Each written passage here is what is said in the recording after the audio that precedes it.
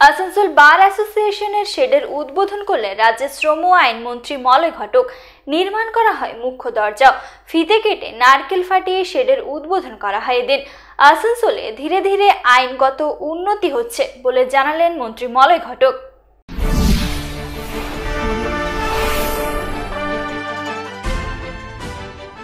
আসানসোল বার অ্যাসোসিয়েশনের মুখ্য রাস্তা। সে রাস্তা থেকে কার্যালয় পর্যন্ত সেট তৈরি করা হয়।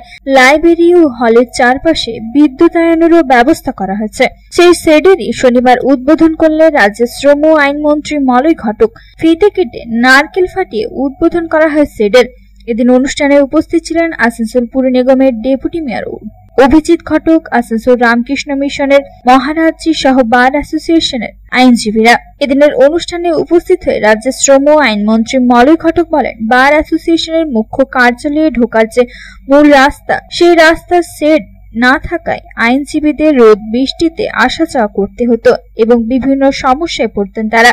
সেই সমস্যা আজ দূর হয়েছে। এছাড়া আসানসোল অঞ্চলে আগে মহকুমা আদালত ছিল, সেটি জেলা আদালতে পরিণত হয়েছে। আইনগত উন্নতি হচ্ছে আসানসোলেও। এছাড়াও তিনি বলেন দু হাজার এগারো সালে মুখ্যমন্ত্রী মমতা বন্দ্যোপাধ্যায় ক্ষমতায় আসার পর তাকে আইনমন্ত্রী পদ দেওয়া হয়। সেই সময় জুডিশিয়াল অফিসারদের থাকার অসুবিধা ছিল। পরবর্তীকালে তিনি তাদের কোয়ার্টারের ব্যবস্থা করেন। মুখ্যমন্ত্রী মমতা বন্দ্যোপাধ্যায় আসানসোল, আলিপুর, ঝাড়গ্রাম ও কালিম্পং এই চারটি নতুন জেলার নাম ঘোষণা করেন এবং সেখানে জেলা আদালত তৈরিরও নির্দেশ দেন। বর্তমানে আসানসোলকে জেলা আদালতের স্বীকৃতি দেওয়া হয়। আসানসোল বার অ্যাসোসিয়েশনের উন্নতি হওয়ার ফলে সেখানে প্রশিক্ষণরত আইনজীবীদেরও অনেকটাই সুবিধা হবে। সেই গুরুত্ব অনেকদিন ধরে উচ্চকিত ছিল। এবং আসানসোলে আরও হয়তো আইন সংক্রান্ত আরও অনেক কিছু হওয়ার প্রয়োজন ছিল। দু হাজার এগারো সালে আমি আপনাদের আশীর্বাদে বিধায়ক হওয়ার পরে মাননীয় মুখ্যমন্ত্রী মমতা বন্দ্যোপাধ্যায় আমাকে আইন দপ্তরের দায়িত্ব দিয়েছিলেন এবং সেই সময় আসানসোলে জুডিশিয়াল অফিসারদের যে কোয়ার্টার সেখানে জুডিশিয়াল অফিসারদের কোয়ার্টারের খুব অভাব ছিল। আমরা সেটাকে করতে পেরেছিলাম।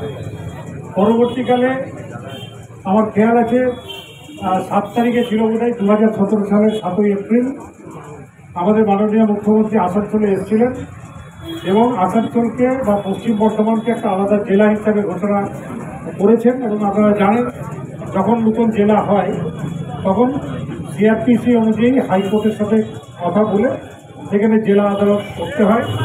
যে চারটি নতুন জেলা আমাদের মাননীয় মুখ্যমন্ত্রী করেছেন, আমি এটুকু বলতে পারি, কয়েকদিন আগেই আমরা আলিপুরদুয়ারে জেলা আদালতের উদ্বোধনে আমি ছিলাম। সেখানকার জোনাল জাজ হাইকোর্টের উনিও ছিলেন। সুতরাং আসানসোল, ঝাড়গ্রাম কালিম্পং এবং আলিপুরদুয়ার। এই চারটি জেলাতে কিন্তু জেলা আদালতের কাজ শুরু হয়ে গেছে। আসানসোল থেকে সন্তোষ মণ্ডলের রিপোর্ট, পাবলিক টাইমস। समाज सेवा के पथ पर हमेशा अग्रसर लायंस क्लब ऑफ़ रानीगंज द्वारा संचालित नेत्र चिकित्सा के क्षेत्र में विश्वसनीय Lions MJM eye hospital Lions MJM eye hospital के अनुभवी नेत्र विशेषज्ञ द्वारा नेत्र जाँच एवं अत्याधुनिक medical equipment pathological laboratory xray के बाद अनुभवी चिकित्सकों द्वारा सफल नेत्र ऑपरेशन किया जाता है। हमारे अनुभवी नेत्र विशेषज्ञ doctor Shivaji Sarkar, doctor Abdul Qayum doctor Chitranshu Samanta और डॉक्टर उत्पल पाल का लाभ दूर दराज से आए मरीजों को मिलता है। रानीगंज आई हॉस्पिटल के साथ जुड़ा बेहतर चिकित्सा का एक और पहल, Raniganj Lions Ram Avtar Bajoria memorial diabetic care centre.